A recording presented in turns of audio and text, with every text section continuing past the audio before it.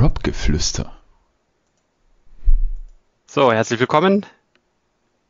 Ja, das war irgendwie Mist. Warst du ein bisschen abgelenkt von meiner lasziven Ansage, oder was? ja, ja, tatsächlich. Paddy, wann kommt eigentlich das Intro? Ja, wenn ich die Tracks vom, vom Dangerous habe. Okay, alles klar. Also, herzlich willkommen zum äh, FPV-Podcast Propgeflüster. Äh, heute sind wieder am Start der Chris, der Paddy, der Niklas und ich. Und äh, ich begrüße euch mal ganz herzlich in die Runde. Hallo Chris. Hallo, guten Abend. Ich bin wieder dabei. Grüß dich, Paddy. Ja, servus miteinander. Und hallo Niklas. Guten Abend zusammen. Jo, wie geht's euch denn so? Ah, ja, ne? ja, Sonntagabend gar nicht so geil. Ja, Sonntagabend kalt, Winterwind. Aber ich muss morgen nicht in die Schule, habe ich gerade gehört. Du Sehr musst morgen nicht in die Schule? Wieso musst du morgen nicht in die Schule? Ja, weil es morgen Sturm hat und hier in, in Freising die Schulen ausfallen, habe ich gelesen. Gilt das auch hier für meine Arbeitsstelle? Kann ich Leider da nicht. anrufen? Nein. Kommt drauf an, ob du noch in die Schule gehst, Chris. Ich identifiziere mich als äh, Schulgänger, wenn es notwendig ist. In unserem Okay. Alter muss man sich ja Fragen stellen, ob die harte Schule, die Straßenschule des Lebens auch ausfällt, wenn es Sturm hat. Das ist ja die wichtige Frage. Das ist eine sehr spannende Frage. Vielleicht sollten wir darüber eine Folge machen, über die Schule des, äh, die Schule, Straße der Schu Schule der Straße, keine Ahnung. Da können wir Botgrinder fragen, der kennt sich bestimmt aus. Ja, genau. Okay, also wie ihr hört, wir sind schon wieder mittendrin im Quatschlabern. Ähm, der FPV-Podcast ist wieder am Start. Wir haben uns wieder versammelt hier digital und versuchen euch irgendwie die nächste Stunde wieder lustige Geschichten übers FPV-Fliegen, vom FPV-Fliegen irgendwie zu vermitteln. Ähm, es ist tatsächlich so, dass äh, irgendwie ganz Deutschland sich gerade sturmfest macht. Äh, Orkanwarnung, Sturm oder, oder Orkan Sabine fegt jetzt dann bald über uns weg. Wir im schönen Bayern, im gemütlichen München haben noch nichts davon mitbekommen. Ich war zum Beispiel heute noch ein bisschen unterwegs beim Fliegen, habe meinem schönen Siebenzoller ein Ärmchen abgebrochen. Wart ihr denn die letzten zwei Wochen unterwegs? Äh, ja, ich, ich fange hier mal an. Erstmal muss ich sagen, mein Beileid für deinen Arm, Steffi, aber es kein Beinbruch. okay, ähm, erstmal hier ernsthaft. Freitagabend waren wir, ähm, nehme ich mal ein bisschen vorweg, für ein paar andere aus der Runde waren wir wieder beim Wupen in der Tiefgarage.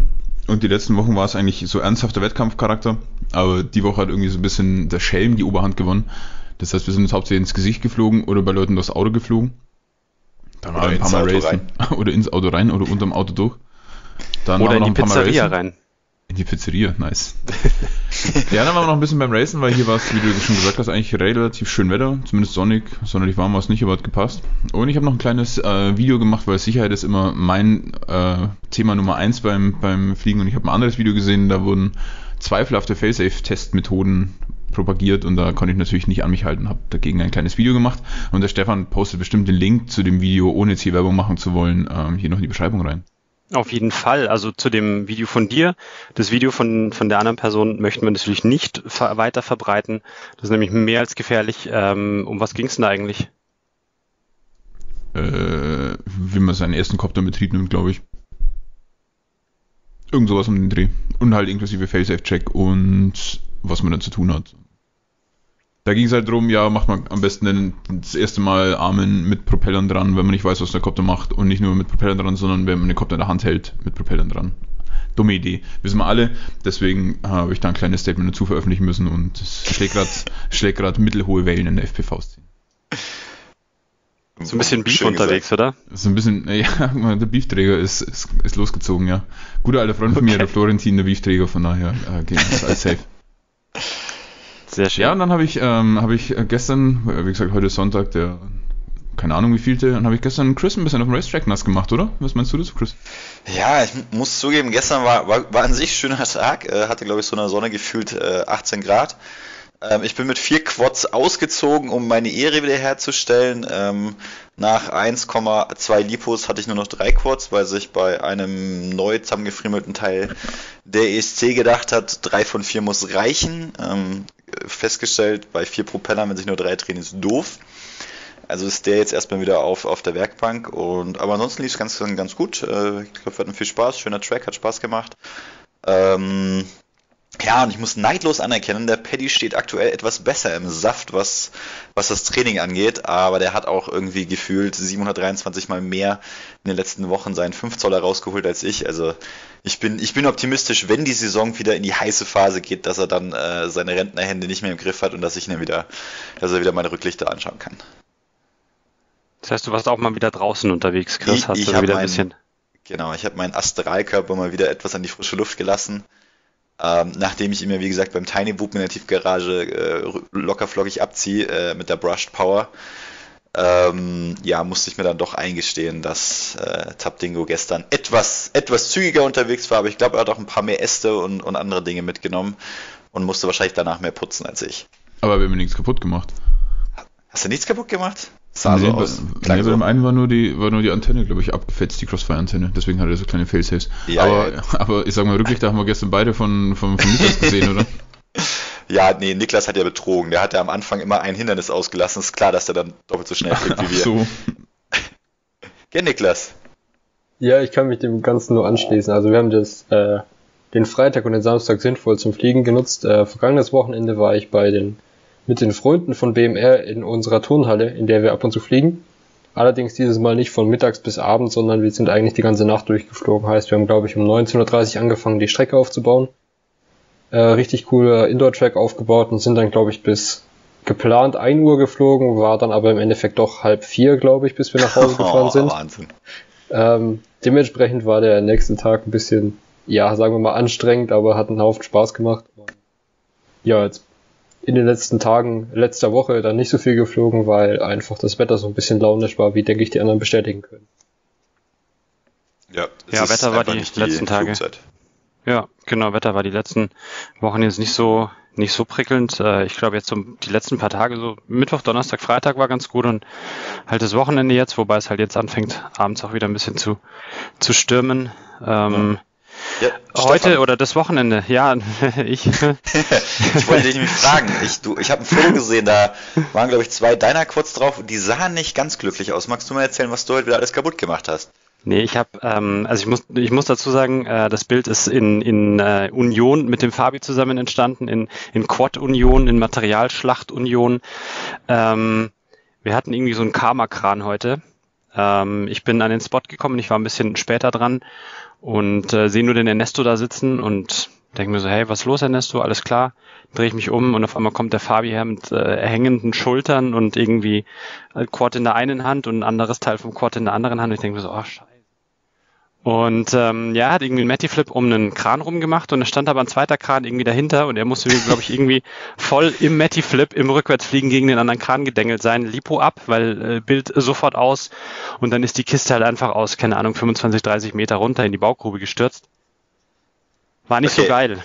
Ja, Jetzt dann, die wichtigste Frage bei sowas, die Ja. allerwichtigste. War eine GoPro drauf und war die Aufnahme in Ordnung? Äh, nein und nein und es lief nicht mal DVR. Also ich meine, Fabi ist jetzt noch nicht so der, der, der ist ja noch nicht so lange mit dabei. Der war ja bei unserem Löten, Labern, Lipos äh, suchen mit dabei. Da haben wir ihn irgendwie mit dem 5 Zoller, glaube ich, zum ersten Mal so richtig in die Luft bekommen.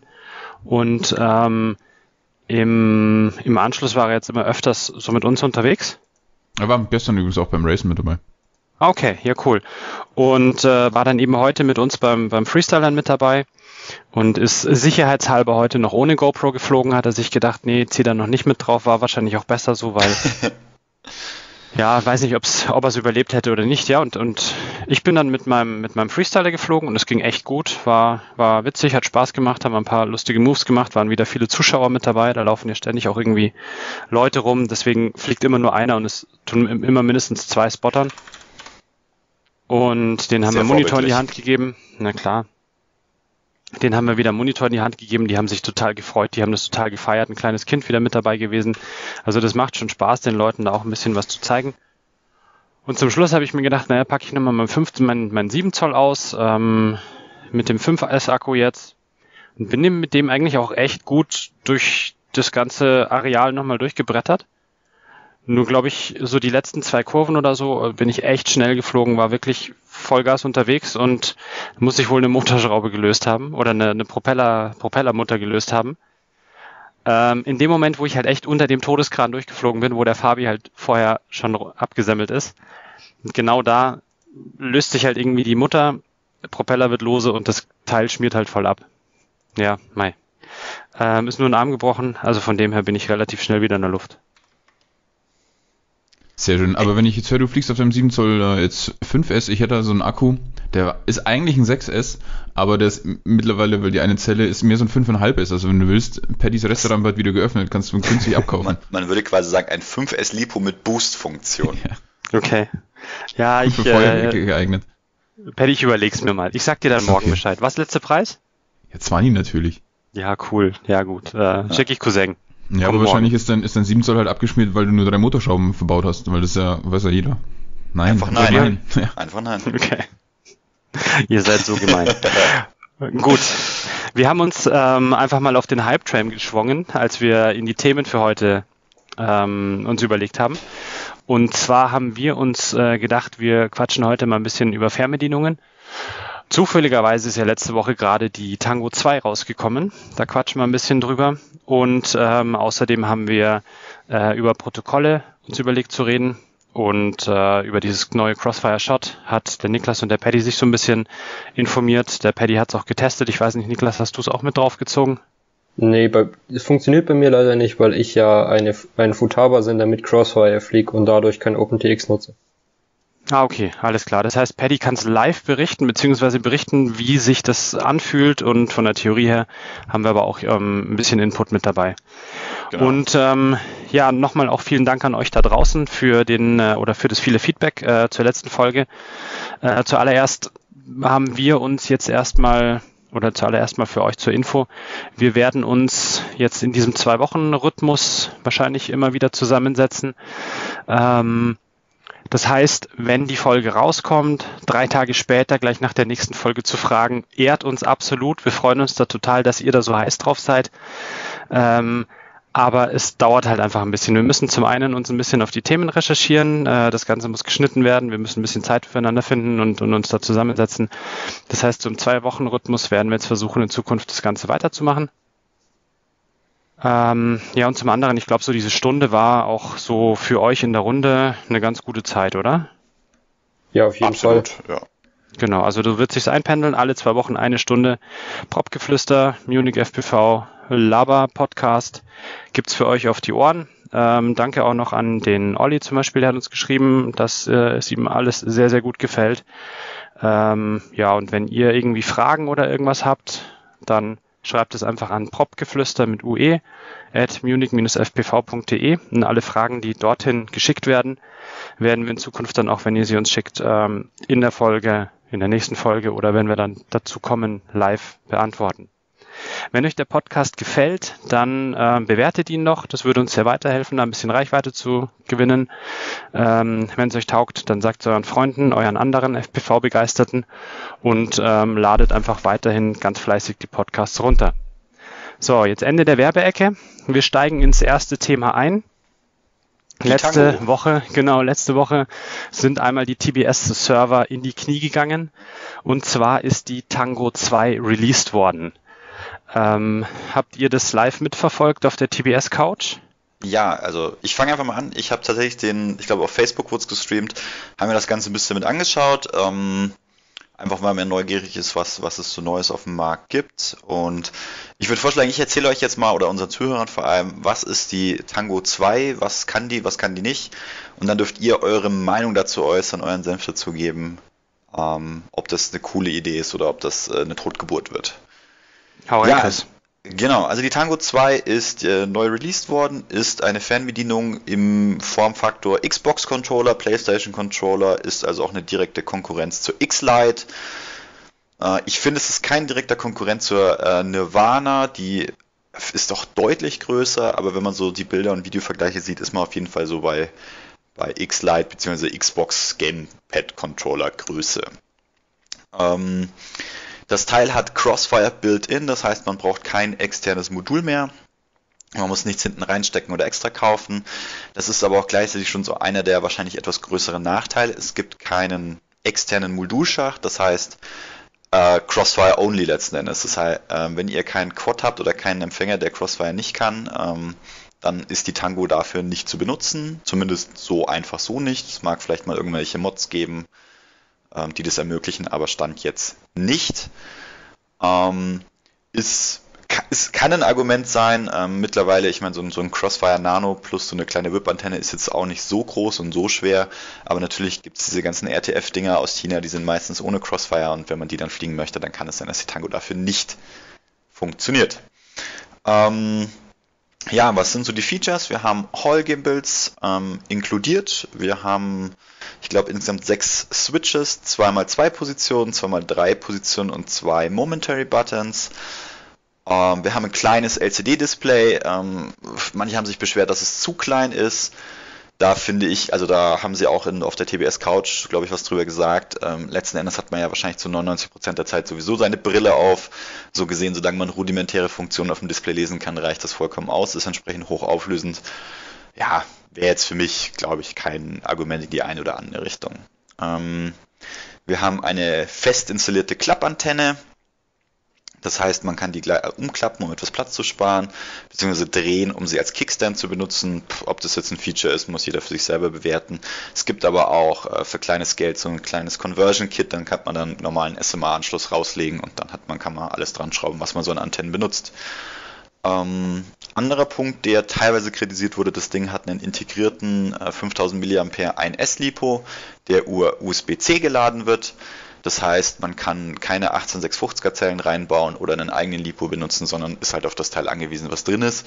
Man hat aber in dem Video gesehen, das ist nicht irgendwie felsenfest da drin verbaut, sondern wenn man die Rückseite auf, abmacht, dann kann man da relativ schnell einen anderen anstecken. Das heißt, sollte da mal irgendwas kaputt gehen, glaube ich, ist das, ähm, ist das ganz entspannt. Ähm, ansonsten, ähm, ja, wie gesagt, sind das so die Hauptfunktionen. Es gibt zwei Versionen. Es gibt die Standard und die Pro. Ich habe mal in Deutschland geschaut. In Deutschland liegt die Standardfunke bei, 100, also TBS 2 Tango bei 180 Euro und die Pro-Version dann nochmal 50 Euro teurer bei 225 Euro etwa. Ähm, ist auch bei allen Händlern ähnlich, ähm, wird sich da auch, denke ich, einpendeln. Und ähm, der einzige Unterschied tatsächlich ist äh, der, das, die Gimbals. Bei der Pro-Version haben die Gimbals ein Knickgelenk, was es quasi ermöglicht, die Sticks nochmal umzulegen. Und die Idee dahinter ist, das Ding einfach noch platzsparender äh, verpacken zu können. Also es geht auch gar nicht unbedingt um Schutz, da könnte man ja einfach irgendwelche Nupsis drüber ziehen, sondern es ist wirklich das Ziel, diese Funke so klein wie möglich zu machen. Ob das jetzt 50 Euro wert sind, ich glaube, das muss jeder für sich selber bewerten. Das Einzige, was man vielleicht dazu wissen kann, ähm, die Gimbals kann man einfach nachrüsten, das heißt, man kann sich auch die Standardversion kaufen und wenn man dann doch irgendwann mal der Meinung ist, jetzt will ich doch das, dieses Feature auch noch haben, dann könnte man sich für, für entsprechendes Geld auch noch die, diese Pro-Gimbals holen. Sind wohl relativ einfach auszutauschen, Plug-and-Play-mäßig, also wenig, wenig Unterschiede. Ja, das war jetzt mal so der Schnelldurchlauf dessen, was die Tango 2 liefert, bietet, ist. Äh, Niklas, dein erster Eindruck dazu, was hast du, hast du dir dazu mal was gedacht, dir angeschaut oder schon gekauft? Nee, also obwohl ich TBS-Pilot bin, äh, muss ich zugeben, ich habe mir die, noch nicht gekauft, einfach weil die Verfügbarkeit aktuell schwierig ist, soweit ich weiß, und zum Zweiten, weil es äh, für meine Nutzung, glaube ich, nicht ideal ist. Ähm, der Formfaktor ist, wie du schon gesagt hast, äh, Gamepad, Game Controller Style, allerdings ein bisschen breiter als die X-Lite, soweit ich weiß, was es doch angenehmer machen sollte, denke ich, für die meisten Leute, speziell mit großen Händen den Sender zu halten. Ähm, meiner ja. Meinung nach, glaube ich, ist es doch allerdings mehr für Leute, die Daumenflieger sind. Ähm, mir, was mich zum Beispiel, denke ich, stören würde oder wird, ich habe die aktuell noch nicht getestet, werde ich aber hoffentlich bald, ähm, dass der Sender nach unten hin ein bisschen zu kurz ist. Wenn man im Stehen fliegt, zum Beispiel wie ich, und den Sender nicht auf dem Schoß liegen hat, dann ist der Winkel, in dem die Hände zum, zum Rest vom Körper sind, sehr unangenehm und dadurch kann man die, äh, die Finger nicht so gut bewegen, heißt nicht so gut steuern. Ich glaube, das ist das, was mich am meisten stört. Zusätzlich dazu, dass halt das Crossfire nur 250 Milliwatt standardmäßig kann, äh, erweiterbar wahrscheinlich auf 500 Milliwatt, habe ich gesehen. Ja, genau. Es gibt schon einen YouTuber, der hat da schon ein bisschen rumgemoddet und das wohl auf 500 Milliwatt aufgebohrt. Das ist aber natürlich im Moment nicht, also nicht einfach nur ein Knopfdruck, sondern muss man wohl irgendwas dran drehen. War es aber auch, glaube ich, ein Mod, den ich jetzt von uns, also Niklas Lötzkris kenne ich jetzt nicht, aber von uns anderen Dullis keinem zutrauen würde, dass er den hinbringt. Das ist, glaube ich, SMD-Zeug rumlöten. Ja, ich, also ich denke, das ist ein super Sender, der eigentlich Standard für den Alltagsracer jetzt, äh, der, der Sender ist perfekt gemacht für halt Alltagsracer und äh, nachdem die meisten Leute immer nur im Moment nur noch Crossfire fliegen, denke ich, super Sender. Das einzige, also wo dieser, sag ich mal, Hype oder teilweise auch das Drama jetzt entstanden ist, war einfach dadurch, dass ähm, TBS den Sender schon so lange versprochen hat und äh, die Leute sich halt ihre den Traumsender zusammengewünscht haben, wahrscheinlich mit äh, 7 Zoll Touch Display, äh, Live FPV Übertragung, gleichzeitig noch auf Facebook streamen können, Hall Gimbals und das Ganze für 200 Euro. Ähm, Der Klassiker. Genau. Allerdings hat TBS von vornherein klar gemacht, dass das halt ähm, ähnlich wie die Tango 1 wird, nur weiterentwickelt. Dementsprechend denke ich, haben sie da den Nagel auf Kopf getroffen, mit dem, wie es für die meisten Piloten, denke ich, äh, nutzbar ist. Ich glaube allerdings, dass im Moment viele Leute noch sagen werden, ja, meine Tango, äh, meine Taranis, meine Tango 1 ist besser, aber ich glaube, äh, wenn die, sich die Leute ein bisschen an das neue Design gewöhnen und ein paar jetzt probiert haben, es kommen auch immer mehr positive Reviews, denke ich, äh, dass es viele doch kaufen werden. Ja, Paddy, was denkst ja, du dazu? Nochmal. Achso. Ähm, also ich bin ja, fliege auch nicht mit Daumen, sondern ich pinch ja auch. Und ich glaube tatsächlich, dass ich hatte auch diese, diese X-Lite mal versucht und das konnte ich gar nicht mit, mit Pinchen. Aber dieser, diese Zange ist ein bisschen anders geformt, ja, die, die Seiten gerade und nicht so wie, wie so ein Xbox oder ein äh, Xbox-Controller, kenne ich gar nicht, so ein Playstation-Controller so, so schräg. Deswegen glaube ich schon, dass man die, gerade so wenn man wie ich im Sitzen fliegt, auch sehr gut pinchen kann. Und ich finde eigentlich den, den, den Move, hier nur Crossfire zu verbauen und auf einen externen Modulschacht zu verzichten, eigentlich recht gut, weil im Endeffekt, ähm, wie der Chris schon gesagt hat, also ich habe auch mein hat Crossfire, ich fliege sonst nur Crossfire-Copter. Schenkt natürlich ein bisschen ein, was die Zielgruppe angeht, aber du holst dir wahrscheinlich sehr viele andere Probleme nicht ins Haus, wenn du jetzt irgendeine Modulschacht unterstützt. Erstens machst du natürlich den Formfaktor ein bisschen größer, dann kommen irgendwelche Typen und sagen, äh, Moment mal, ich habe hier das Modul, das soll bitte laufen, das soll bitte laufen und dem schiebst du halt von Anfang an einen Riegel vor hast natürlich immer so ein bisschen diesen Apple-Nachteil, dass die Leute sagen, ja, hier, du hast dein eigenes Ökosystem und verschließt dich so ein bisschen vor der Welt. Aber das sehe ich in dem Fall jetzt eigentlich gar nicht so schlimm, weil im Endeffekt, also so was FreeSky in letzter Zeit so abzieht, bin ich eigentlich. Ist auch nicht besser. Ist eigentlich schon gut, dass äh, da CBS ein bisschen was entgegensetzt. Ich, der einzige Kritikpunkt, den ich jetzt so ein bisschen hätte, wäre, dass zum Beispiel da ist vorne ja so ein, so ein, so eine kleine, so ein kleines Gewinde dran, wo man den Lanyard-Halter einschrauben kann und dass man den in der Standard, ich glaube sogar eine, oder? Nur nee, du musst immer extra kaufen. Auch in der Pro-Version? Soweit ich weiß, ja. Dass man den zum Beispiel extra kaufen muss. Aber, Gut, das sind halt. Das äh, du halt musst ungefähr, also auch äh, dieses kleine SMA Conversion Kit, das ist letzten Endes ein SMA Pigtail und ich glaube noch eine Kontermutter, auch das ist nicht dabei. Ja, hm, ja, also da, gut, da ist das meine, ist halt eine Preisgestaltungsgeschichte. Also. Genau, da habe ich heute auch, auch mal, wenn ich das kurz einwerfen darf, äh, eine Diskussion in der TBS-Launch gesehen, eben das, wo Chappie sich dazu geäußert hat und eben für die Leute, die es nicht wissen, Chappie, Raphael Pörker, der Chef von äh, Team Black Sheep, hat sich dazu geäußert und meinte eben, dass natürlich, es ist ein Kleinteil, das natürlich auch wichtig ist, allerdings kann man sich entweder drucken, wo es jetzt schon eine offizielle Datei gibt, wo man sich das Teil einfach drucken kann. Das andere ist, ist, dass die mit dem Budget für die Tango was den Verkaufspreis angeht, äh, schon sehr knapp bemessen waren von dem, was sie an Material reingesteckt haben. Und das was für den Preis, wo sie es verkaufen, weil äh, ich muss ganz ehrlich sagen, für den Preis knapp 200 Euro, glaube ich, für die Pro-Version mit Hull Gimbals. Äh, ja, also in Deutschland, die Pro liegt bei 225, wenn sie denn mal lieferbar wäre. Also ich habe gerade zwei Händler offen im Internet, die listen sie beide für 225. Ah, okay. Ja, aber trotzdem, also der, das Gesamtpaket, ähm, Crossfire bis 250 mm heißt ein Micro Crossfire. Ähm, mit Antenne, mit, ja, mit ordentlicher Antenne, mit äh, Hull Gimbals, die tauschbar sind, mit äh, Upgradability heißt, dass du die Software dauernd upgraden kannst, das TBS Wi-Fi mit drin. Ist schon ein sehr gutes Paket für den Preis, muss man ja. auch wieder sagen. Genau, also äh, ich finde auch, also klar, es gibt, glaube ich, immer Nachteile, es gibt immer irgendwas doof finden wird. Ich persönlich bin auch der Meinung, ob es jetzt noch so ein, so ein Lanyard-Halter für wahrscheinlich in der Produktion Patient noch ausgemacht hätte, pff, keine Ahnung.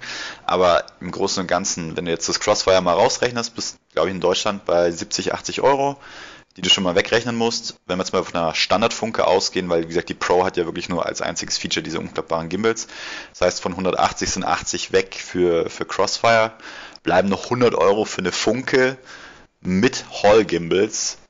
Ähm, das ist schon, schon echt heftig, wenn ich überlege, so als Vergleichsprodukt jetzt in der Preisklasse ist, glaube ich, diese neue FR Sky, also die QX7 in dieser Light-Variante, aber da hast du keine Hall Gimbals, liegt, glaube ich, so bei 80, 90. Also das ist schon meiner Meinung nach, wenn man es mal objektiv betrachtet, ein echt guter Preis. Also kann das Einzige, was mich, glaube ich, noch ein bisschen stören würde, also ich hole mir jetzt keine tatsächlich, weil ich noch eine X9D Plus habe und die leider nicht kaputt ist, obwohl sie mir letztens runtergefallen ist, ähm, dass das Display schon relativ klein ist. Klar, man braucht es natürlich nicht so oft, aber ich stelle ganz gern Zeug über Lua-Skripte um und dann Na nicht gut, über das ist natürlich Müssen wir halt jetzt sehen, wie es wie tatsächlich wie hoch aufgelöst es ist und wie gut es Genau, ist. Und ich meine, ähm, wir haben alle wahrscheinlich schon mal OpenTX oder FreedomTX, der, der Fork, der da gerade im Endeffekt noch drauf ist. Das ist so Ja. oder so kacke zu bedienen, egal wie groß das Display ist. Von daher. Genau. Ähm, ja, äh, noch, noch, genau, es gibt auch noch, habe ich gerade nochmal nachgeschaut, ähm, ganz nett für die, die ein bisschen individueller unterwegs sind und die keinen Bock auf Hydro-Dipping haben. Es gibt von TBS selber insgesamt fünf Camouflage-Sets, nennen sie es, oder, oder Camo-Skins in verschiedenen Farben. Das ist, das ist also letzten Endes so eine Art Stickerbogen, die man dann wohl ganz schön da aufbringen kann und dann kann man sogar seine Tango noch ein bisschen, ein bisschen individueller gestalten als dieses klassische Schwarz. So als, als vielleicht nettes Feature für den einen oder anderen. Also wenn, wenn du mal das nächste Mal, wenn du holst jetzt eine, Chris, und dann kommst Ich- das nächste Mal den Platz, dann mache ich dir eine schön Camo grün-braune Tango, wenn du willst. Ah, kann, ich, okay. kann ich bei uns am Platz tief ziehen. Genau, sehr schön. Ja, du hast ja vorhin schon angesprochen hier das Thema äh, Pinching.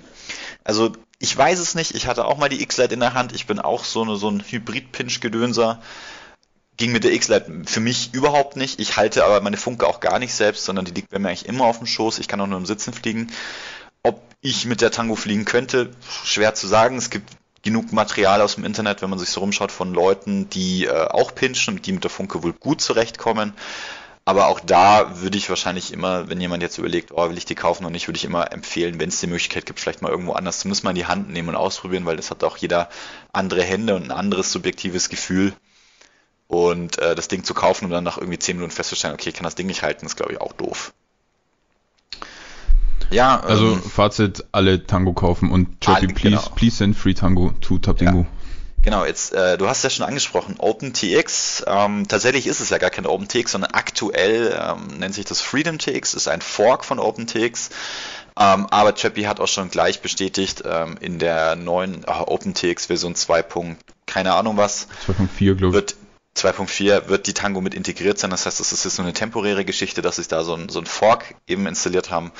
Und mit der, mit der neuesten Version ist das dann wieder einheitlich. Finde ich cool, dass sie das machen. Dann muss man sich da nicht noch 27 andere Sachen installieren.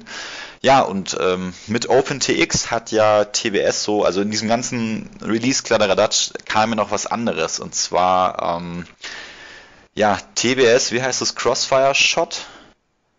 Ja, ganz genau. Also TBS hat wenige Wochen, glaube ich, eine, ein oder zwei Wochen vor der im Release der Tango 2 ähm, ein neues Protokoll, ich würde es mal jetzt vorsichtig Protokoll nennen, ähm, das sogenannte Crossfire Shot vorgestellt. Für die, die nicht wissen, was es ist, bisher lief die Kommunikation zwischen Fernsteuerung und Modul, heißt der Taranis und dem Crossfire-Modul, äh, lief die Kommunikation auf einem sogenannten Crossfire CSF V2 Protokoll. Und ähm, das ist natürlich, wie ich erkläre mal kurz jetzt ganz was, was Crossfire Shot Neues bedeutet, ähm, weil ich mir am Anfang auch nicht so viel da vorstellen konnte. Trappy hat es in einem Livestream ganz gut erklärt. Ich hoffe, ich habe das jetzt richtig interpretiert. Allerdings, ähm, ja, man kann sich das ähnlich vorstellen wie damals der Wechsel von PWM auf One-Shot. Ähm, Ja. und zwar war es früher so, dass quasi deine ESCs liefen früher in einer bestimmten Taktfrequenz und dein Flight Controller lief in einer bestimmten Taktfrequenz. Der Flight Controller schickt die Signale und je nachdem, in welcher Taktfrequenz der ESC gerade ist, nimmt er halt das mit, was er bekommt oder halt eben auch nicht. Ähm, heißt, man hat eine gewisse Ungenauigkeit und je nachdem, wann man quasi äh, den Kopter angesteckt hat, hat man unterschiedlich gute Flugperformance gehabt, weil das Ganze natürlich sich auch auf den PID-Loop ausgewirkt hat. Ähnliche Geschichte ist es mit dem äh, anscheinend bisher mit den Fernsteuerungen gewesen. Heißt, die ganze Geschichte zwischen Modul, Sendemodul und Empfänger bleibt gleich bei Crossfire Shot. Das, was sich ändert, ist die Kommunikation zwischen Fernsteuerung und Modul. Und das, was, das, was die jetzt gemacht haben in Zusammenarbeit mit OpenTX, ist, dass der Sender jetzt immer genau die gleiche Geschwindigkeit spricht wie das Modul. Dadurch gehen weniger Daten verloren und man hat keine variable Latenz mehr, was bisher der Fall war. Da gab es eine ja, wie gesagt, va variable Latenz zwischen, äh, Fern zwischen dem Signal, was die Fernsteuerung geschickt hat, und dem, was das Crossfire-Modul an den Empfänger weitergegeben hat. Dadurch, dass es jetzt synchronisiert läuft, hat man keine merkbare Latenz mehr oder Trappy sagt annähernd nicht mehr messbare Latenz zwischen Modul und Fernsteuerung, was natürlich das Ganze nochmal deutlich flüssiger und direkter macht ähm, und auch ja noch andere Vorteile bietet anscheinend. Okay, jetzt, jetzt bin ich der Technik-Noob schlechthin. Ähm, ich fliege, ohne zu wissen, warum ich eigentlich fliege, so ungefähr. Gibt es denn irgendwie Du, du, sprichst jetzt von einer variablen Latenz, vielleicht kann auch, auch Paddy was dazu sagen. Gibt es da irgendwie Infos? Wo, wie war die vorher, wie ist die nachher, wie wirkt sich, also jetzt ich als 0er15 Pilot, merke ich was davon oder ist das wirklich was, wo jetzt so die, die obersten paar Prozent noch die letzten, die letzten Hundertstel Sekunden dann rausholen können? Oder ist, also ist das, kurz gesagt, ist das nice to have oder ist das was, wenn es dann mal final released ist auf, auf OpenTX, dass sich eigentlich jeder installieren sollte, weil er sonst doof ist? Da, darf ich da mal ganz eine ne, ne Zwischenfrage stellen? Chris, du bist doch erst vor, vor kurzem äh, von FreeSky auf Crossfire umgestiegen. Hast ich? du was gemerkt? Ja. ja? Ich fliege schon seit einem Jahr Crossfire. Ähm, ich muss aber auch sagen, ich habe es auch damals, also bewusst nicht, muss ich ehrlich sagen. Vielleicht unterbewusst ist es doch nochmal einen, einen Ticken schneller geworden, keine Ahnung. Aber ich muss sagen, also ich glaube, bei mir ist immer noch das größte Hindernis der, der Mensch, der irgendwie die Funke in der Hand hat und ja, mu muss ich sagen. Weiß ich nicht. Okay, ich, also, also Umstieg, Umstieg Freescale ist vor kurzem als für mich so gefühlt, du warst irgendwie so, glaube ich, einer der der ich letzten, bin relativ spät gewechselt. Du bist ja. genau spät gewechselt, ja. Aber ja. du hast also quasi nichts, weil ich meine, du bist ja schon, du, du performst ja eigentlich schon so im Racing im, im obersten Bereich bei uns. Ja, bei uns und, jetzt, bei uns jetzt. Ja, ja, ja, bei uns, aber, aber das, aber das ist ja jetzt, Nö. und, und also du hast bei, aber bei nichts mir, gemerkt, oder? Okay. Nee, bei mir war Cross, äh, der Crossfire-Wechsel war bei mir eigentlich mehr so diese Geschichte, äh, Team Failsafe lässt grüßen bei FR Sky und mhm. du hast irgendwie fünf Receiver und zwei gehen in Failsafe, zwei gehen und einer macht irgendwas. Und da hatte ich einfach keinen Bock mehr drauf und dann habe ich irgendwann gesagt, okay, scheiß drauf, das Geld muss raus und dann gab es okay. das kleine Crossfire. Paddy, äh, Niklas, habt ihr irgendwie Unterschiede spüren können, als ihr umgestiegen seid oder, oder äh, sagt ihr einfach nur, Latenz ist egal. Ist, äh, ich fliege einfach Crossfire, weil halt sicherer. Also ich war geil. bin schon, glaube ich, relativ früh auf Crossfire umgestiegen und da würde ich sagen, da war ich noch annähernd nicht in der Lage zu spüren, ob das jetzt, also den Unterschied zwischen FreeSky und Crossfire zu spüren. Was ich allerdings sagen muss, also der Chris hat es ja eingangs schon erwähnt, ich habe äh, als mutiger Bastler, der ich bin, tatsächlich mir angetan, den OpenTX Nightly Build, den man aktuell noch braucht, für dass das Crossfire Shot läuft und auch die Beta-Version von Crossfire auf, mein, auf meine Funke geflasht. Und ich muss tatsächlich sagen, also ist natürlich immer vielleicht ein bisschen Placebo dabei bei sowas, aber ich meine schon einen deutlichen Unterschied gespürt zu haben zum normalen Crossfire. Also, es hat sich erstmal so geäußert, dass, oh fuck, was ist denn jetzt los? Äh, also, ein bisschen direkter alles. Es ist halt immer schwer, sowas dann zu, zu wirklich zu quantifizieren und zu sagen, okay, jetzt, an der Stelle bin ich jetzt schneller. Aber im Endeffekt, wenn man sich ein bisschen mit Regelkreisen auskennt und im Endeffekt ist nicht nur der PID-Regler, sondern auch man selber steuert den Kopf, das ist alles ein riesengroßer Regelkreis von ich bewege die Sticks, es geht zum Kopf dahin, ich sehe das Bild, was passiert und reagiert. Und Regelkreise funktionieren immer besser, wenn weniger Latenz drin ist. Auch wenn ich jetzt schon ein bisschen älter bin, und vielleicht nicht unbedingt sagen kann, okay, in der Kurve habe ich jetzt eine Millisekunde weniger gebraucht, weil ich schnell reagieren konnte, aber es hat sich einfach direkter angefühlt im Endeffekt. Tatsächlich muss ich sagen, ich glaube, ich habe ein Video von Steel, hat er gemeint, der hat seine Pits und Rates ein bisschen verändern müssen. Hm, würde ich sogar, ich bin noch nicht Freestyle mitgeflogen, nur Race jetzt, da kam es mir tatsächlich auch teilweise ein bisschen vor, dass man so ein bisschen, weil man manchmal vielleicht halt so ein bisschen die Latenz ausgeglichen hat mit ein bisschen Überschießen, aber das hätte ich jetzt echt eher minimal gesehen, vielleicht ein bisschen, aber naja, aber wie gesagt, ich habe schon einen relativ deutlichen Unterschied gespürt, also meine ja. ich gespürt zu haben. Patty, du bist jetzt ja, glaube ich, also bist ja, ich glaube, Freitag hattest du gesagt, hast du äh, Crossfire Premiere für dich alleine so ein bisschen gemacht, hattest wohl auch so Eingewöhnungsherausforderungsschwierigkeiten. Ich glaube, am Samstag wahrscheinlich ja auch Crossfire Shot geflogen, da lief es ja dann schon wieder deutlich besser. Also würdest du sagen, dass das dann doch recht schnell in Fleisch und Blut überging oder hast du am Samstag immer noch gemerkt, dass da was anders ist als die letzten 823 Jahre? Nee, nee, da, da gewöhnt man sich schon relativ schnell dran. Also wie gesagt, es ist am Anfang halt, okay, Moment, jetzt passiert alles minimal einen Ticken schneller. Uh, aber sonst, wie gesagt, das heißt drei, vier Akkus, dann hast du dich dran gewöhnt. Es, also ich sag mal so, es, macht mich jetzt nicht unbedingt wirklich ja. schneller, aber es, es hilft mir besser zu werden. Okay, Niklas, wie schaut's bei dir aus als, als Profi? Hast du oder, oder kannst du einen Unterschied spüren? Beziehungsweise bist du irgendwann mal nochmal ein anderes Protokoll außer Crossfire geflogen? Ja, also ich habe auch angefangen mit damals Graupner, was zu dem Zeitpunkt oder schon relativ schnell war, muss man zugeben, weil die ein relativ flottes Protokoll haben, was aber in meiner Erfahrung zumindest nicht so super stabil war, was Failsafes und so angeht. Bin dann auf Crossfire umgestiegen, aber Crossfire hatte ja am Anfang ähm, einmal noch kein Crossfire V2 Protokoll als Kommunikation zwischen Fernsteuerung und Modul und zum zweiten ist Crossfire damals auf 50 Hertz gelaufen. Seit ähm, ja auch Mitte letzten Jahres ungefähr gibt's ja die Version 3. mittlerweile 2.3, wo man die, äh, die Aktualisierungsrate auf 150 Hertz festsetzen kann. Und ich muss zugeben, als ich das erste Mal von 50 auf 150 Hertz getestet habe, habe ich schon einen Unterschied gemerkt, einen deutlichen. Ähnlich auch wie das, ich habe Steels Video nicht gesehen, aber wie der Paddy das gerade beschrieben hat, einfach, dass der Copter direkter ist. Man überschießt weniger, man muss die Rates ein bisschen anpassen. Ähm, ist aber, glaube ich, im seltensten Fall so, dass man sich da wirklich lang daran gewöhnen muss, weil es ja jetzt nicht so ist, wie wenn man zum Beispiel seine Rates zu aggressiv einstellt, dass was passiert, was man nicht erwartet, sondern man sieht ja was und man steuert dann und dann passiert am Copter die Folge davon. Und wenn man einfach da weniger Latenz hat, fliegt sich das halt viel sauber und der, wie Stil beschrieben hat im Video, äh, der Copter liest quasi, was man denkt. Und das ist halt schon sehr angenehm beim Fliegen. Ähm, ich glaube, ich habe es jetzt selber noch nicht ausprobiert, vielleicht muss ich mir da den Paddy seinen Copter mal ausleihen. Aber ich spüre es regelmäßig, wenn ich zum Beispiel von Crossfire 150 Hertz auf FR Sky gehe bei anderen Koptern merke ich den Unterschied und ich denke auch wenn man, speziell wenn man äh, ja in den oberen 20, 30 ist bei den Racern, merkt man auf jeden Fall einen Unterschied. Definitiv, ob es für den Orthonormalverbraucher einen Unterschied macht, aktuell glaube ich noch nicht. Sinnvoll ist es, denke ich, aber in jedem Fall, sobald es stabil ist, einfach weil sich die Technologie auch weiterentwickelt.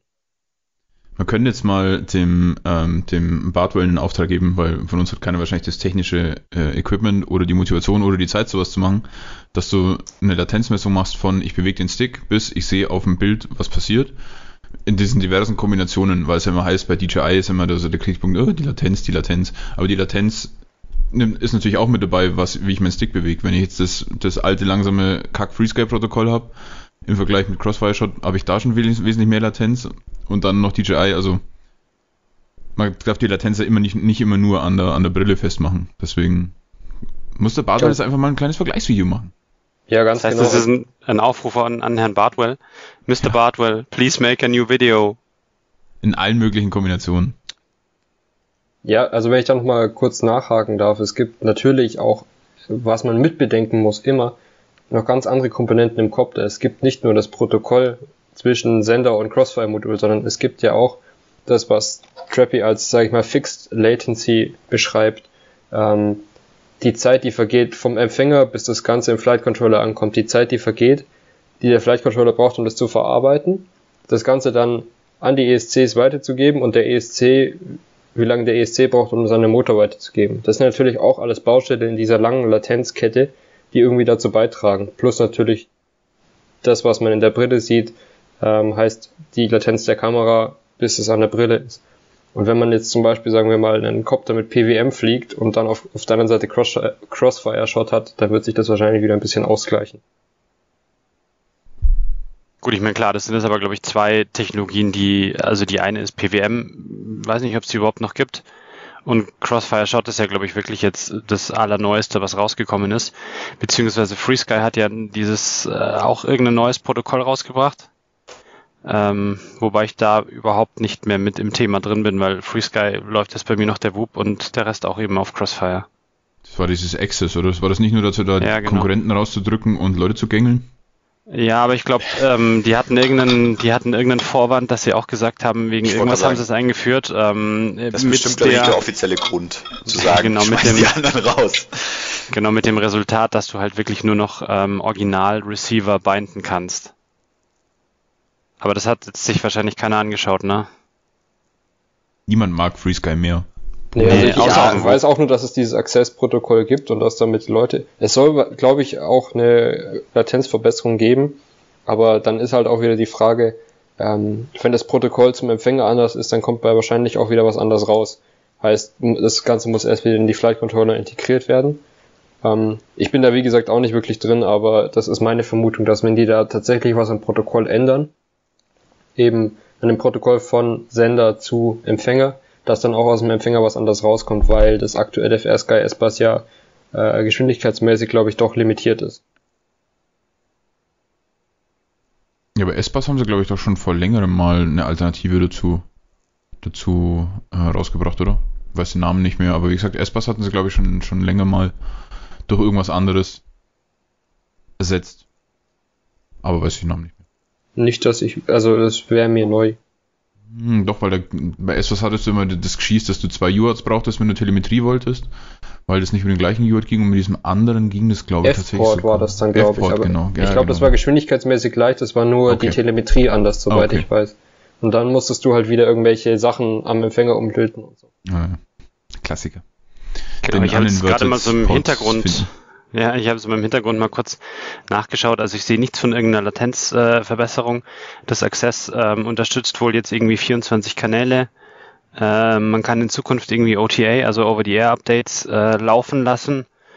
Äh, automatisches Binden, äh, verwaltbare Telemetrie und ähm, ja, eigentlich nichts anderes Großartiges, wo man sagt, wow, cool, brauche ich unbedingt jetzt. Na, hier unten ist doch noch eine Übersicht mit Ja, äh, stimmt, Latenzen. genau. Ja, genau. 15 Millisekunden. Äh, Im Durchschnitt, was? Für 15 Millisekunden im Durchschnitt 22. Das Genau, klingt was jetzt für mich relativ viel fast. Ist, aber, ist halt auch wieder das, wie was wir vorhin schon hatten, dass du halt variable Latenz hast, was eben nicht so wie bei Crossfire Shot jetzt durchgetaktet ist, sondern dass du halt ein Minimum von 10, Maximum von 30 und im Mittel von 20 mal die Funke einschalten, kommen halt im Mittel 22 Millisekunden oder sowas Latenz dann raus.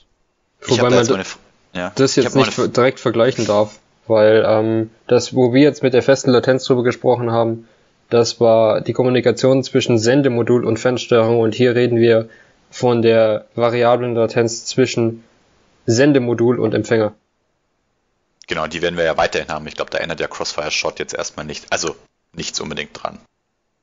Also wenn ich dich jetzt richtig verstanden habe, es geht ja vor allem um diese Kommunikation quasi innerhalb, also von Funke zu Modul. Und ähm, das war anscheinend früher variabel.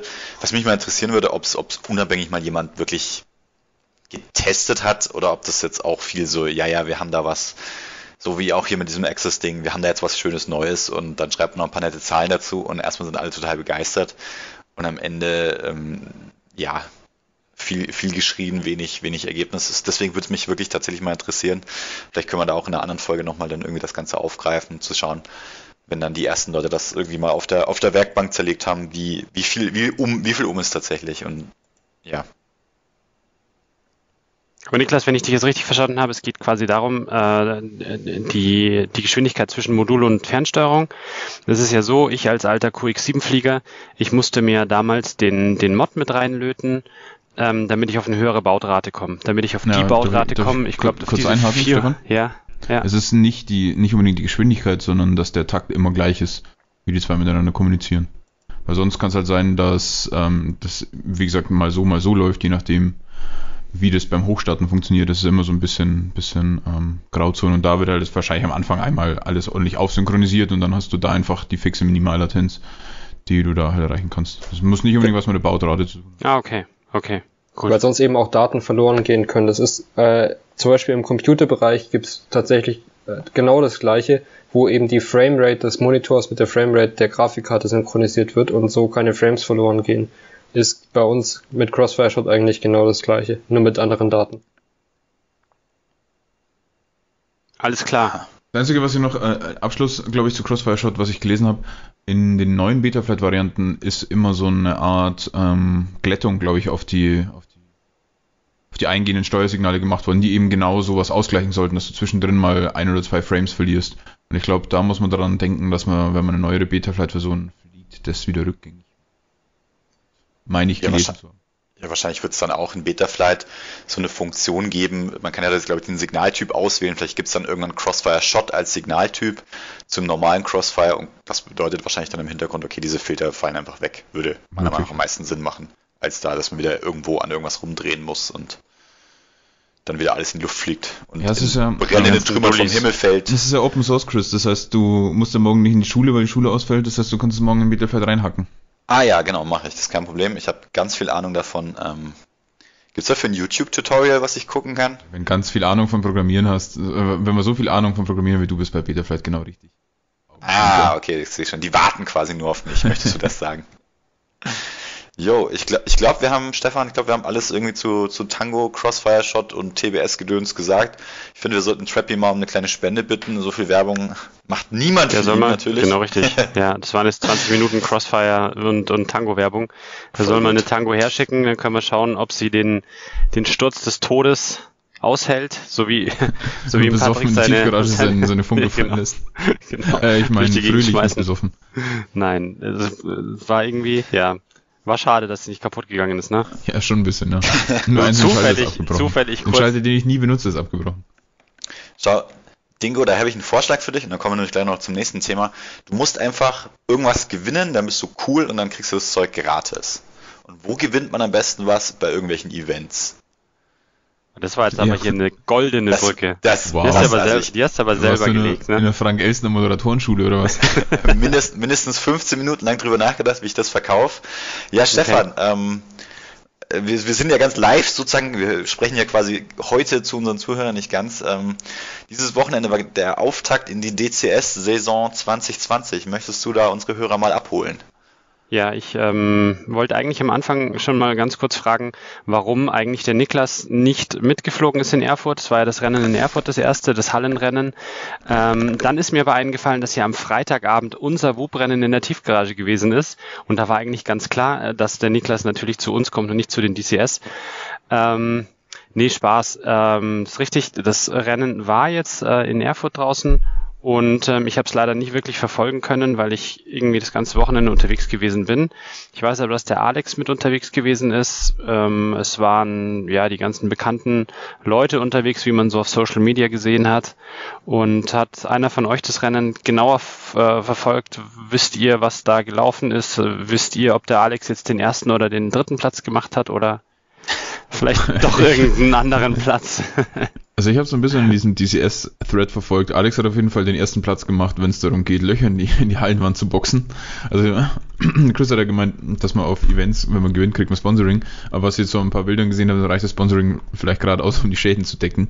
ähm, also es war ja ein Indoor-Event und wie jeder weiß, sind Gebäude für gewöhnlich von Wänden ummantelt. Und da wir hier ja nicht in Amerika sind, wo die Wände aus Pappmaché sind, sondern unsere Wände für gewöhnlich aus Stahl und Stein sind, ähm, verliert da so ein Kopter ganz gerne mal. Deswegen, tja, schade, Alex. Das nächste Mal wieder. Wir drücken das nächste Mal wieder die Daumen. Ich wollte jetzt hier gerade äh, die Ergebnisse nachschauen, aber die Acrasher Live-App-Visa geht nicht. Ich habe nur mal genau. direkt in das Finale reingeschaut von den von der Pro-Klasse. Also da waren, ich weiß nicht genau, wie das, wie das, wie der Modus war, aber dann hätte laut diesem Sheet hier der Marcel Greo gewonnen, den kenne ich jetzt nicht. Zweiter wäre der uns allen wohlbekannte Marvin Schnabel. Wer war noch so dabei? Der Heiko Schenk war im Finale noch mit dabei. Niklas Kufall, finde ich ganz cool, weil der hat letztes Jahr noch, ist noch in der Standardklasse mitgeflogen. Hm.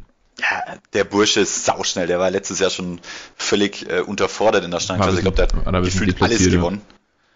Ja. Äh, und jetzt hat er es auch ins Finale geschafft. Allerdings haben er und der Yannick Henschel, zumindest laut Lifetime Results, ähm, quasi die erste Runde nicht überlebt.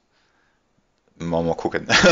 genau, also zum Alex, ich habe mir, ist ja ganz nett, man kann ja dann immer auf der Lifetime FPV-Seite auch ähm, die, die YouTube-Heats, also die Heats quasi über YouTube anschauen und ähm, ich habe mit Alex noch nicht direkt gesprochen, aber ich habe kein gutes Gefühl, weil der Heat, wo er dann noch gestartet ist, ist er nicht so weit gekommen und dann ging das Bild sehr, sehr schnell aus. Das ist eigentlich nie ein gutes Zeichen. Ähm, ja, mal gucken, was er uns dann erzählen wird, wenn er seine Scherben zusammengeklaubt hat. Der Arme. Also den, den Preis für den den Preis für den besten Crash hat er auf jeden Fall, soweit ich weiß, nicht bekommen, weil es gab nämlich eine goldene Ananas zu gewinnen, eine leuchtende goldene Ananas. Und die hat der Sebastian Wolzenburg von, äh, ich glaube, Modellsport Münsterland gewonnen. Der hat den vierten Platz in der Standardklasse gemacht und der hat, glaube ich, zwei Arme im Start-Zielgate verloren im Finale. Und dafür gab es dann zwei. die Gold Ja, genau, zwei, mit Motoren ja. komplett ausgerissen. Ähm, Nicht schlecht. Muss ja, ich ich, ich habe hier das Bild vor mir liegen und beschreib's mal unseren Hörern. Also es ist tatsächlich einfach so, wie man sich einen Racer vorstellt, da fehlen einfach komplett die zwei vorderen Arme, ohne Kabel. Also es sind keine Kabel mehr drin, es fehlen einfach die zwei vorderen Arme. Wobei Ja, das Bild, also das kurz- der Alex uns geschickt hat, ist ja eigentlich fast noch ein bisschen besser, weil ähm, das beschreibe ich auch mal. Muss ich nur kurz raussuchen, da fehlen, glaube ich, auch zwei Arme. Da bauen zwar noch ein bisschen Kabel rum, aber da, da ist auch der ES, ESC in der Flight Control um 45 Grad verdreht, so ein bisschen Feuerspuren sind auch mit dran. Und da, da ist die, Bot äh, die Topplate ist komplett weg. Ich weiß nicht, ob man den auseinandergebaut hat, aber Ich glaube, die Topplate hing noch dran, aber eher in so äh, punktuellen Stücken. Ja, auf jeden Fall in der Halle fliegen ist immer wieder schön. Ja, also das offizielle Statement vom Sebastian äh, zu dem Crash war, ähm, weil ich gefragt habe, wie er denn das bitte geschafft hat, weil ich habe genau den gleichen Frame da und ich bin neulich in der Halle auch echt übel eingeschlagen und der war nicht so kaputt. Äh, sein offizielles Statement dazu ist Full Send, einen überholt auf der Zielgeraden und zu schnell gewesen für den Disarm. Okay. Genau. Ja, krass. So viel dazu. Ähm, ja, ich habe auch noch ein Foto gesehen. Ähm, das hat kein, da ist kein Copter mehr drauf, aber es ist irgendwie, glaube ich, beim, beim Aufräumen oder irgendwas passiert oder, oder aufgenommen worden. Und zwar sind das halt einfach äh, fiese Einschlaglöcher in so einer Metallwand, äh, wo man auch äh, sehen kann, dass irgendwo Copter voll eingeschlagen sind. Also die haben auf jeden Fall, die DCS hat auf jeden Fall in der Messe Erfurt äh, die Spuren hinterlassen. Und äh, ja, war, glaube ich, wieder ein ganz witziges Wochenende da draußen. Voll gut. Ja, ihr habt ja anscheinend den, den Chat ein bisschen verfolgt. Gab es da irgendwas zum Thema? Wir hatten ja, glaube ich, letzte Woche recht in letzte, letzten beiden Wochen, äh, letzte beiden Folgen recht intensiv über das Thema digital gesprochen. Äh, der Stand war ja, soweit ich mich erinnere, dass ähm, quasi die Veranstalter diese Saison oder jetzt zumindest zum Auftakt den Leuten dieses Tracking-System zur Verfügung stellen wollen, für die, die digital fliegen. Ich weiß nicht, hat, hat man dazu irgendwas gehört? Ich habe es ich hab's jetzt ehrlich gesagt nicht verfolgt, deswegen kann ich persönlich jetzt nichts beitragen. Aber habt ihr da vielleicht was gehört dazu oder ist das irgendwie noch nicht so Ja. ganz? Nichts gehört, nichts gesehen und ich glaube, wenn, dann wäre das ja wieder eine eigene Klasse gewesen und gab's jetzt, gab's jetzt nichts, habe ich jetzt nichts gesehen. Ah, okay. Ja gut, dann war das vielleicht jetzt dieses Mal noch nicht, noch Ja. nicht relevant oder noch nicht, äh, noch nicht durchführbar. Werden wir es abwarten. Ja, also ich habe auch nichts gehört. Ähm, ich weiß es auch gar nicht, wer von denen, wenn, dann müsste es ja eher in der Pro-Klasse gewesen sein, weil ich glaube nicht, dass, dass in der normalen Klasse irgendjemand äh, digital Also- Racing fliegt. Ich, ich hätte es genau andersrum, aber ich glaube nicht, dass jemand aus der Pro-Klasse Racing fliegt, weil, also digital, weil es ist ja doch, also Thema Latenz, ja, okay, wird wohl nicht so dramatisch sein, aber es ist, glaube ich, ähm, auf jeden Fall das digitale System, zumindest von DJI, noch nicht so hundertprozentig an dem Punkt, dass die Latenz wie an, angenagelt steht und wenn es jemand merkt, dann sind es die Pros und ich glaube kaum, dass eine der Pros sich im Moment zum einen dieses Thema Latenz antut und zum anderen auch das Gewicht und die Größe der aktuellen Air Unit. Also das kann ich mir tatsächlich nicht vorstellen. Ja, also wäre gut, wär das, wär das Argument gewesen, genau. Und Ja. äh, Argument, warum es keiner in der Standardklasse hat, weil es wahrscheinlich einfach sauteuer ist und, und jetzt in der Standardklasse die Leute vielleicht jetzt nicht so Ja, 100% sicher sind und wenn du da irgendwo in der Halle einen Quad gegen die Wand nagelst, dann ist das, ist die Kiste halt einfach kaputt, wie wir halt Ja. jetzt gerade schon auf den Bildern gesehen haben. Ähm, und ich glaube, wenn du dann so ein, so ein komplette Air-Unit in Sand setzt, das ist halt dann doch ein bisschen teurer als ein, ein, ein normaler Unify und irgendeine Runcam. Ähm, die nächsten Events, ich weiß gar nicht, ich wollte es gerade mal aufmachen. Äh, wo haben wir denn die nächsten Termine? Wo seid ihr denn dabei? Also ich glaube jetzt gut, Inter also Erfurt war jetzt durch ähm, und der nächste Termin von Aircrusher DCS ist ja dann äh, Ende April in, ich glaube in Dortmund, Intermodellbau 2020. Ist da jemand von euch am Start? Ja, ich Nope. denke wahrscheinlich schon. Also ich werde wahrscheinlich, wenn ich es zeitlich einrichten kann, äh, hinfahren, einfach weil ich das letzte Mal, glaube ich, vor zwei oder drei Jahren dort war und ich Ja. einfach ein Fan von so besonderen Rennen bin. Also jedes Mal nur auf der Wiese fliegen ist irgendwie ein bisschen langweilig, aber wenn man die Möglichkeit hat, also Ja. als ich das letzte Mal da war, das Publikum war unglaublich, die Ränge waren komplett gefüllt und ähm, in der Hoffnung, dass das Event jetzt tatsächlich stattfindet, die Stimmung war einzigartig und in so einer dunklen Halle mit LED-Track fliegen ist wirklich super. Äh, okay. Ja, da glaub, muss ich ein bisschen mal, aus dem Nähkästchen plaudern. Ja, Alex, Alex wird auch dabei sein, aber ich muss ein bisschen was erzählen. Und zwar, ähm, es gab so ein bisschen Kommunikationsherausforderungen zwischen dem äh, Michael und der Messe. Ähm, und zwar wurde da wohl ähm, ja versprochen oder letztes Jahr schon gesagt, ja, ja, ähm, das wird wohl stattfinden, aber es gab irgendwie keine verbindliche Zusage. Und dann ging es irgendwie die ganze Zeit hin und her. Und ähm, jetzt gab es irgendwie vor über einer Woche oder vor zwei Wochen gab es jetzt irgendwie einen Aufruf, dass man doch mal auf der Internetseite oder auf der Facebook-Seite von der Intermodellbau die ähm, äh, mit draufschreibt, was man sich denn wünscht, was noch alles auf der Intermodellbau stattfinden soll. Und da wurde natürlich dann irgendwie so ein, ja, so ein, so ein kleiner, ähm, kein Shitstorm, aber es wurde halt aufgerufen, ja, schreibt doch mal hin, dass ihr euch äh, FPV-Races wünscht. Und da wurde halt dann irgendwie jeden Tag hat dann äh, eine ganze eine ganze äh, Menge Leute haben dann da immer mit draufgeschrieben und ja, wir wollen ein FPV-Race und FPV-Race wäre geil und macht doch mal wieder ein FPV-Race. Und äh, ja, kurz darauf kam dann das offizielle, okay, wir machen einen FPV-Race und ähm, ja, die, die Aircrasher wurden quasi dann äh, wieder engagiert und ja, was der, was der Niklas schon gesagt hat, der Michael äh, hat schon angekündigt, dass das wieder eine ziemlich coole Geschichte wird mit Indoor, alles dunkel, LED, Flammenwerfer, Lasershow. Also da, da lässt er wirklich einiges springen und da wird er sicherlich wieder einiges äh, auffahren an Effekten und an, an Show. Genau, und danach, also der nächste Termin ist ja dann, glaube ich, faktisch, es müsste sogar eine Woche sogar direkt später sein. Also es geht dann Schlag auf Schlag, ist dann das erste Mai-Wochenende und da kommt, äh, glaube ich, für uns so ein bisschen der, der Jahresauftakt, also für, zumindest für die, für die große Truppe. Und zwar geht es nach Tschechien, nach Asch. Ähm, dadurch 1. Mai, Feiertag, können wir auch schon Donnerstag anreisen und, und dann ab Donnerstagabend das Bier laufen lassen. Da freue ich mich dieses Jahr besonders drauf. Ich konnte letztes Jahr nicht mitkommen, weil ich im Urlaub war. Und äh, die Jungs, die da waren, hatten ja wohl äh, fetzen Gaudi, würde man sagen. Und da freue ich mich auf jeden Fall. Seid ihr da auch dabei? Ja, klar, Mann. Ja, ich denke schon. Also ich habe mit dem Track, wie gesagt, äh, ich habe es neulich schon erzählt, noch eine Rechnung offen, weil ich im vergangenen Jahr doch, sage ich mal, in der Qualifikation relativ gut performt habe und dann in einem Finale le leider einen ja, sehr unglücklichen Unfall hatte. Keine deswegen, Sorge, das ja das ja. Jahr erwischst du den, den, den Pfeiler von dem, von dem Skilift, der da mitten auf dem Track steht. Das Jahr erwischst du ihn. ja. Man muss es einfach nur immer wieder probieren, irgendwann schafft man es dann. Stefan, wie schaut's bei dir aus? Bist du auch ein Arsch dabei? Ja, geplant, geplant ist es. Ähm, ich denke schon, dass ich auf jeden Fall auch mit dabei bin. Sehr schön. Nee, also da freue ich mich wirklich drauf, dass du gesagt der Auftakt dann in, für, für, ich glaube, für die große Truppe. Ja, ähm, genau und dann, ich hoffe für euch alle, ist auch Pflichttermin Ende Mai, 29. bis 31. quasi das Münchner Rennen, unser Heimrennen, ähm, powered by BMR und Aircrusher in Adelsried, quasi ein Heimspiel für uns. Und da müssen wir natürlich äh, mit breiter Brust, Flaggen, Trompeten und am besten einem Elefanten einmarschieren und äh, den Leuten mal zeigen, wo hier der, das Quad die Propeller sitzen hat, würde man sagen, glaube ich. Und wie es aussieht, werde ich äh, auch den Track wahrscheinlich mit designen oder ja, auf jeden Fall in Zusammenarbeit mit, äh, mit BMR den Track designen für das Event. Sehr schön. Ich glaube, Niklas, von dir war auch der Lipokalypse-Track letztes Jahr, also in 2019, das, das BMR-Event Lipokalypse. Ich glaube, da war der Track auch von dir, oder? Genau, ich habe für die letzten, also für die letzten großen Events äh, einmal das Monthly FPV-Meeting und einmal auch die Lipokalypse den Track gemacht letztes Jahr. Also ich glaube, da können sich alle freuen, die nach München oder beziehungsweise nach Adelsried bei München kommen, um da äh, beste, beste Unterhaltung zu erleben. Der Track war wirklich cool, ähm, da freue ich mich auf jeden Fall drauf. Und im Sportheim vom SV Adelsried gibt's Currywurst. Das ist mein und, persönliches genau, Highlight. Ja, das größte Highlight ist eigentlich, dass wir bei Nacht fliegen können, weil dort wird's Flutlicht geben. Äh, also wir haben Flutlicht an dem Platz und wir haben das letztes Jahr schon mal ausprobiert.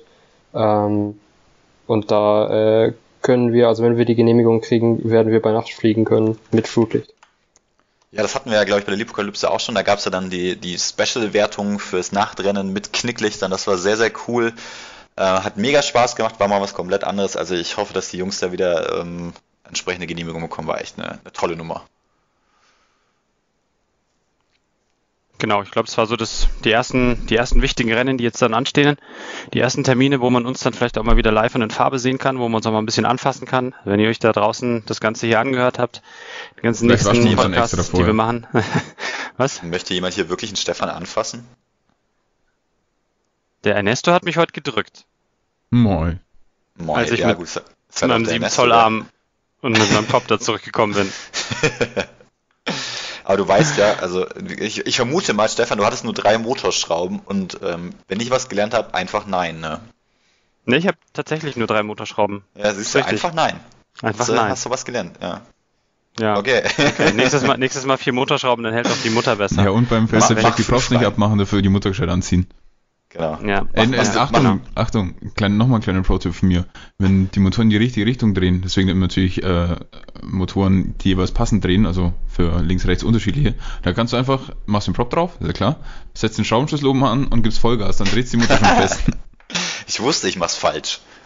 Okay. Ich glaube, bis hierhin hat eh keiner mehr zugehört. Da muss ich nichts irgendwie vorher reinschneiden. So mit Achtung, nicht nachmachen. Achtung, jetzt wird's gefährlich. ich glaube, jetzt können wir auch äh, sagen, dass man den Fail-Safe-Check ruhig in der Hand machen kann, also mit Propellern dran und den Akku einfach oben festhält. Ähm, ich glaube, Stefan, gib doch zu, du machst, hast doch eine Tochter, die kann das machen. Die hält das Quad und du machst den Fail-Safe-Check. Das ist bestimmt eine gute Im Idee. Mund. Im Mund. Im Mund. die balanciert es auf der Nase. Ah, beeindruckend. Solltest du uns mal vormachen. Ja, nee, kostet Eintritt. okay. Dann muss ich erst ein Event gewinnen, dann kann ich mir das leisten. Liebe Leute, ich glaube, bevor wir noch weiter Mist erzählen und unsere letzten Hörer da draußen vergraulen, ähm, würde ich fast sagen, wir machen jetzt einen Schlussstrich. Es ist fast äh, eine ganze Stunde um. Wir sind wieder echt gut in der Zeit. Es war mir ein Fest. Es war mir ein sehr lehrreiches Fest, weil ich nämlich jetzt endlich verstanden habe, was Crossfire Shot macht. Ich war nämlich tatsächlich zu faul, mich in das ganze Thema einzulesen und dachte mir, irgendjemand wird es mir schon erklären. Also vielen Dank an äh, Niklas und Patrick. Und ähm, ja, ich werde wahrscheinlich warten, bis äh, der, der Bild quasi offiziell ist, also dass es keine Beta mehr ist und werde dann auf jeden Fall auch updaten. Chris, wann holst du dir deine nächste oder wann holst du dir deine Tango, deine Tango 2? Ähm, ja, 2000, also wir haben jetzt den 9.2.2020. Ich gehe von aktuell 2023 aus. Bis dahin muss meine aktuelle Funke noch mit mir Vorlieb nehmen. Dann ist sie abgeschrieben, oder? Bis dann ist sie abgeschrieben, dann kann ich mir das endlich wieder leisten, genau. Okay. Cool. Paddy, Niklas, ihr seid wieder auf dem Track unterwegs nächstes Wochenende oder sagt ihr, nee, lieber mal wieder Freestylern? Ja, am besten beides. Also bei mir, ich bin auf jeden Fall äh, wahrscheinlich beim Filmen in der nächsten Woche mit dem Racecopter ein paar Sachen filmen und wahrscheinlich auch noch groß mit der Inspire noch ein paar Sachen filmen. Bin ich, wird auf jeden Fall cool. Aber ja, ich würde cool. natürlich auch gern racen. Okay, cool. Ähm, das heißt aber, du bist ja dann auf Instagram auch ziemlich aktiv, oder? Haust du mal das eine oder andere Bild in die Story oder ist es so top secret, dass du sagst, nee, kann ich leider nicht machen? Ich hoffe natürlich immer und ich frage natürlich auch immer, ob ich irgendwas posten darf, aber in den meisten Fällen ist das ein bisschen schwierig. Aber irgendwas gibt es bestimmt. Okay, also dann nochmal dein äh, Instagram-Name Upside Down FPV äh, folgen. Folgt natürlich auch dem Paddy. Paddy ist der Tapdingo 9000. Chris, du bist TK33, oder? Irgend sowas, ja. Wobei ich tatsächlich mein Instagram so ein bisschen vernachlässige. Ich muss jetzt dann im Frühjahr wieder anfangen, unseren Team-Account etwas mehr zu beleben. Das ist in letzter genau, Zeit etwas eingeschlafen. Team-Account äh, Munich Der ist natürlich der wichtigste. Das ist der alle, allerwichtigste, genau. Genau. Alle Folgen Entfolgt Sepp Dingo, folgt Munich FPW, der hat es gar nicht verdient. Erzählt sowieso nur Blödsinn. Genau. genau. Ähm, ansonsten seht ihr auch immer mal wieder unregelmäßig äh, unsere tollen Videos. Wir haben aktuell noch ein HDO 2 Review in der Pipeline. Das ist, glaube ich, bis jetzt das beste Review-Video, was wir gemacht haben. Aller Zeiten. Aller Zeiten. Objektiv. kommen auf den Tisch. Das, das, ist, das äh, ist äh, das Beste. Ähm, dann ja. habe ich gesehen, haben wir noch ein zweites Video in der Pipeline. Das muss ich jetzt die nächsten Tage mal online stellen. Ähm, das kommt dann auch noch. Ähm, da geht es auch um eine Tiefgaragenraserei mit den Tiny Whoops. Das ist ganz witzig. Nicht ganz ernst zu nehmen. Und ansonsten, ja, wie gesagt, habe ich anfangs schon gesagt, äh, wenn euch dieser Podcast hier gefällt, dann ähm, schreibt eine Bewertung irgendwie auf iTunes oder auf äh, Spotify, wo ihr es hört. Das würde uns sehr helfen. Empfehlt es euren Freunden, damit die sich das zumindest runterladen. Sie müssen es nicht anhören, sie müssen es einfach nur runterladen. Ähm, ja, und ansonsten vielen Dank fürs Zuhören. Ich wünsche euch eine schöne Woche, beziehungsweise schöne zwei Wochen. Lasst euch von dem Sturm nicht wegpusten. Und ähm, ja, dann bis demnächst mal wieder. Euch auch vielen Dank, dass ihr wieder die Stunde Zeit gefunden habt und wir hören uns in zwei Wochen. Ich bin raus. Bis zum nächsten Mal. Tschüss.